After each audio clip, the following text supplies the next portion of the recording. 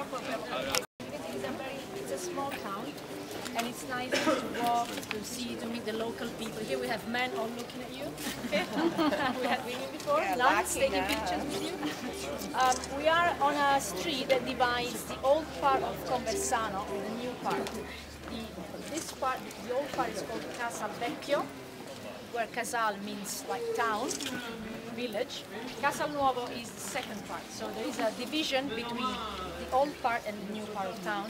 Well, the urban, the new urbanization of um, of the town was um, after the arrival of Napoleon, so 1806.